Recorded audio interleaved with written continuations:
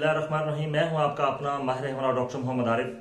आपका अपना life style health channel में सब देखने वाले किसान भाइयों को और दोस्तों को खुश आमदीद कहते हैं। प्यार किसान भाइयों, आज हम बात करेंगे बकरों और छतरों को फरबा करने के बारे में, कि बकरे और जो छतरे हैं, इनको फरबा कैसे किया जाता है, इनका गोश्त कैसे बढ़ाया जाता है। हमारे काफ़ी सारे किसान भाई ऐसे हैं कि जो कि ईद उल अजहा के लिए बकरे और छतरे पालना चाहते हैं, लेकिन अपना वज़न जो है वो उनका पूरा नहीं कर पाते। और कुछ हमारे हजरात भाई ऐसे हैं कि जो कि इसको कारोबार की शक्ल देना चाहते हैं, लेकिन वो भी अपना पूरा हदफ जो है उसको पूरा नहीं कर सकते। आज हम बात करेंगे कि बकरों और छतरों को आपने पालना कैसे है। सबसे पहली बात यह है कि जब भी आप बकरे और छतरे लेकर आए, तीन से चार दिन के बाद आप उनको डिवर्मिंग लाजमी करवा दें, ताकि उनके मैदे के अंतरियों के और जो ज़िक्र में क्रम है वो मुकम्मल तौर पर ख़त्म हो जाए। और 10 दिन के बाद उनको हिफाजती टीकाजार मौसम के मुताबिक अपने डॉक्टर के मशवरे से उनको लाजमी करवाएँ आप। उसके बाद आ जाता है उनका चारा। कि आपने उनको चारा क्या देना है? चारे के लिए यह है कि अगर आप उनको बाहर खोलेंगे तो बाहर अगर आपका चारा जो है, सब्ज चारा वो चराने के लिए काफ़ी मिकदार में मौजूद है तो फिर तो बहुत अच्छी बात है। एक्स्ट्रा सब्ज चारा आपको नहीं देना पड़ेगा। लेकिन अगर चारा बाहर कम है तो आप उनको चराई के लिए सिर्फ़ दो या तीन घंटे बाहर लेके जाएँ। बाकी आप सब्ज चारा जो है, उनको खुरलियों में दें। और सब्ज चारे की जो मिकदार है, फ़ी जानवर जो है, वो तकरीबन 10 से 12 किलो 24 घंटों में उनकी बनती है। इसके बाद हम आ जाते हैं इनके वंडे की तरफ़। कि आपने इनको वंडा क्या देना है? ऐसी कौन सी चीज़ देनी है जिससे ये ज़्यादा फरबा हो? हमारे यहाँ चूँकि एक रवायती तरीके से ये पाले जाते हैं कि बाहर चारे पर ले या सबज चारा भी दे दिया तो घर पे आके आपने उसको आधा पाव या पाव पाव गंदम दे दिया, थोड़े से जिसने ज़्यादा कर लिया तो चने दे दिए। लेकिन अभी मैं आपको इनके बारे में मुकम्मल तफसील से आगाह करूँगा, क्योंकि बहुत कम फार्मर हैं जो कि बकरों के और छतरों के वंडे के बारे में इल्म रखते हो। एक मैंने शुरू में थंबनेल में एक बात बताई थी कि राज जो हकीकत बन जाए, वीडियो के आखिर में आपको वो अहम चीज़ आपको बताऊँगा कि आपके जो जानवर हैं, वो अपना वज़न जो है वो दुगना बढ़ाना शुरू कर देंगे। और वो जिस चीज़ के बारे में आपको बताऊँगा, वो पाकिस्तान में अवेलेबल है, लेकिन बहुत कम लोग उसको जानते हैं, इस पर इतना ज़्यादा काम नहीं हुआ अभी। सबसे पहले आ जाते हैं वनडे पर। तो वनडे के जो अज्जा हैं, ये आप नोट कर लीजिए। क्योंकि जब वनडे की बात करते हैं तो काफ़ी सारे जिम्मेदार हजरात जो है वो थोड़े परेशान हो जाते हैं कि वंडा बड़ा गर्म होता है तो पता नहीं गर्मी का मौसम भी बहुत ज़्यादा है तो क्या होगा। ऐसा कुछ भी नहीं है वनडे में वो अज्जा शामिल होते हैं जो कि जानवर की बढ़ोतरी के लिए बहुत ही अहमियत का हमल है। अगर वो हम अज्जा मुकम्मल तौर पर नहीं देंगे तो अपना हदफ जो है वज़न की शक्ल में वो कभी भी पूरा नहीं कर सकेंगे। और मैं आप सबसे ये रिक्वेस्ट करूँगा कि ये प्रोग्राम जो है, ये अगर आप इसको वीडियो को शेयर नहीं करना चाहते तो कम से कम जुबानी जो है अपने किसान भाइयों को इसको ज़रूर शेयर कीजिए। वनडे का जो पहला हिस्सा है इसमें है मकई, चने, चोखर गंदम, खालबनोला विटामिन मिनरल्स और नमक। क्योंकि जब भी वंडा बनता है, उसमें खुराक के पाँच अज्जा जो हैं वो बहुत ज़रूरी होते हैं। पाँच अज्जा में क्या है? सबसे पहले प्रोटीन कार्बोहाइड्रेट्स फैट्स जिसको चर्बी कहते हैं विटामिन हैं और मिनरल्स हैं। ये पाँच अज्जा अगर खुराक में पूरे होंगे तो जानवर अपनी बढ़ोतरी जो है मुकम्मल तौर पर करेगा। एक चीज़ दूसरी मैं आपको ये बता दूँ कि जो बड़े जानवर हैं, यानी कि जिसमें हमारे बछड़े और कटड़े आ जाते हैं, उनका जो वंडा है वो बाज़ार से बासानी दस्तियाब होता है, वो वंडा आपने बकरों को हरगज नहीं देना। क्योंकि उसमें प्रोटीन का लेवल जो है वो बहुत ज़्यादा होता है और बकरे छतरे हैं, उनको अच्छी तरह से हजम नहीं कर सकते। अभी ये जो मैं आपको नुस्खा दे रहा हूँ, जो फार्मूला आपको दे रहा हूँ, इसको आप नोट फरमा लीजिए। क्योंकि सबसे अच्छा वंडा वही है जो आप घर में बना लें तो सबसे पहले जो हमारे पास जुज्व है, वो है मकई। मकई आपने लेनी है पीली।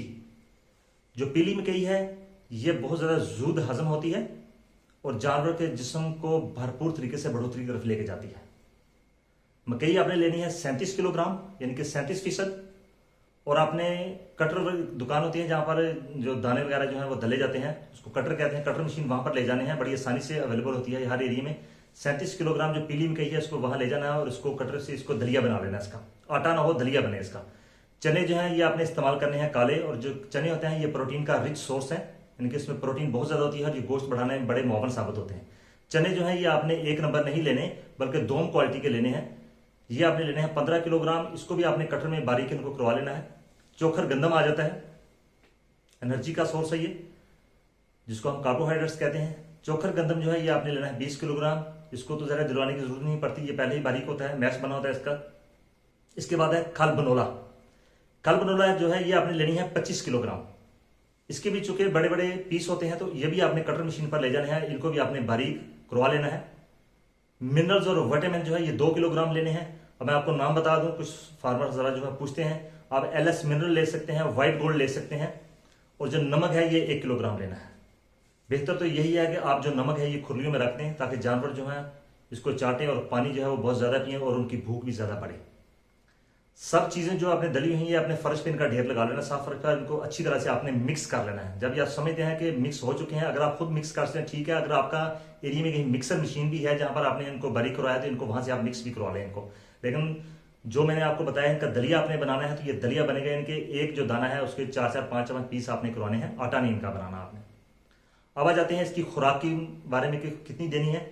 जब बकरे और छतरी आप लेकर आए तो इनको देने का तरीकाकार ये होता है कि आप 50 से 100 ग्राम से शुरू करेंगे आप इसको और दो से तीन दिन के लिए दो पचास ग्राम और सौ ग्राम चलता रहेगा। दो दिन के बाद फिर आपने पचास ग्राम और ऐड कर देना है।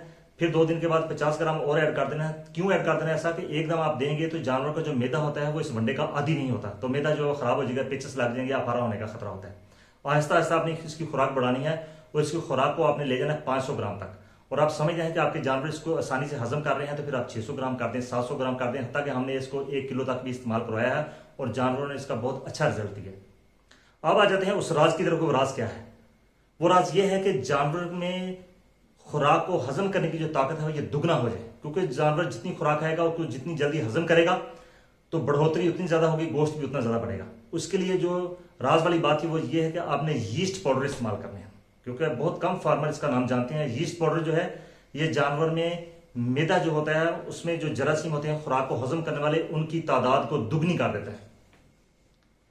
खुराक का इस्तेमाल आपने कैसे करना है? ये मुख्तलिफ़ जो यीस्ट पाउडर मार्केट में आते हैं, मुख्तलिफ़ की मुख्तलिफ़ खुराक है। मैं अभी एक आपके सामने नाम लूँगा एक्टीरा यीस्ट नमान कंपनी ये बनाती है। और 100 से 100 ग्राम का 500 ग्राम का और हज़ार ग्राम का जो पैकेट मार्केट में आता है, बकरों में इसकी खुराक बनती है एक ग्राम। अब जो एक ग्राम फ़ी बकरा अब एक ग्राम को कैसे मैयर किए जा किया जा सके? तो एक ग्राम को मैयर करने का तरीकाकार यह है कि आप सुनार की दुकान पर चले जाए, उसको कहें, यार, एक ग्राम इसको तोल दे। एक ग्राम तोल देगा, आपको अंदाज़ा होगा ये एक ग्राम है। देने का तरीकाकार यह है कि या तो आप रोटी का छोटा टुकड़ा ले लें या कागज़ का छोटा टुकड़ा ले लें, उसमें सौ ग्राम मिक्स करें और जब जानवर चारा खा रहा हो तो उसको साथ ही आपने खिला देना उसको। और 24 घंटों में एक मरतबा ही खिलाना है और एक ग्राम से आपने इसकी डोज ज़्यादा नहीं करनी। अगर आपके पास दस बकरे हैं तो आप दस ग्राम ले लें दस ग्राम को आप एक प्याली में डालें और उसमें 10 सीसी जो है 10 एम पानी डालें, उसको अच्छी तरह से मिक्स कर लें और सिरिंज में एक सीसी पानी भरें और बकरे के मुँह में वो दे दें चारे के दौरान। ये सबसे आसान तरीका है इसका, ताकि जाया भी हो, क्योंकि अगर आप इसको चारे में डाल देंगे तो ये तो बहुत बारीक होता है, सारा का सारा जाया हो जाएगा। इससे फ़ायदा क्या होगा? इससे फ़ायदा ये होगा कि जानवर में खुराक हजम करने की जो ताकत है, वह दुगनी हो जाएगी। और आपको कैसे पता चलेगा कि जानवर जो है, मुकम्मल तौर पर खुराक हजम कर रहा है कि नहीं कर रहा? उसमें तरीकाकार यह है, जब आप जानवर की मेंगनी जो है, उसको आप तोड़ेंगे तो आप देखेंगे उस मेंगनी में या तो तूड़ी के, खुराक के जो जर्रे हैं वो भी नज़र आते हैं, बास का इसमें दाने जो हैं छोटे छोटे उनके जर्रे भी नज़र आते हैं। इसका मतलब ये जो खुराक है, मुकम्मल तौर पर हजम नहीं कर रहा। और आप ये बात भी आप जहन नशीन कीजिए कि धरती पर जितने भी जानवर हैं, वो खुराक को मुकम्मल तौर पर हजम नहीं करते। और जब आप यीस्ट पाउडर देते हैं तो आप सातवें दिन देखेंगे, उसका जो रिज़ल्ट है, वो तकरीबन सौ फ़ीसद हो चुका है वो जो, हो चुका होगा, जो आप छोटे छोटे आपको जर्रे उस मेंगनी में नज़र आएँगे, वो भी नहीं नज़र आ रहे वो मुकम्मल तौर पर जज्बे बदन बन रहा होगा। ये था आज का प्रोग्राम कि आपने चारा जो है, वो कितना इस्तेमाल करना है, वंडा कैसे बनाना है, उसके अज्जा के हैं, और कितना कितना आपने देना है। मेरी आपसे दरख्वास्त ये है कि जो कि काफ़ी सारे फार्मर्स जो हैं, वो अपना टाइम भी जाया कर रहे होते हैं, खुराक भी जाया कर रहे होते हैं, पता नहीं उनको चलता कि क्या दें। खुराक जाया करने का मतलब यह है कि वो सिर्फ़ गंदम ही अगर दे रहे हैं तो जरा गंदम तो सिर्फ़ खुराक का एक जुज्व है, सिर्फ़ एनर्जी या कार्बोहाइड्रेट बाकी चीज़ें कहाँ से आएँगी? तो बाकी चीज़ें यहाँ से आएँगी। आपको ये वीडियो पसंद आए आपको इसका नफा पहुँचे तो आप इसको फ़ीस बिल्ला दूसरे फार्मर तक ज़रूर शेयर कीजिए। अगर आप वीडियो शेयर नहीं करना चाहते तो ना कीजिए, लेकिन कम से कम जुबानी इस फार्मूले को लाजमी शेयर कर दीजिए, ताकि किसी का भला हो जाए। आपका बहुत शुक्रिया। नए आने वाले इस चैनल पर जो हमारे साथी हैं वो इसको सब्सक्राइब कर लीजिए। ताकि आप हमारी लाइफ स्टॉक फैमिली का हिस्सा बन जाए। साथ में दिए गए बेल आइकन को आप ज़रूर प्रेस कीजिए ताकि आने वाली नई वीडियो की नोटिफिकेशन आपको वक्त पर मिल सके। आपका बहुत शुक्रिया। अल्लाह हाफिज़।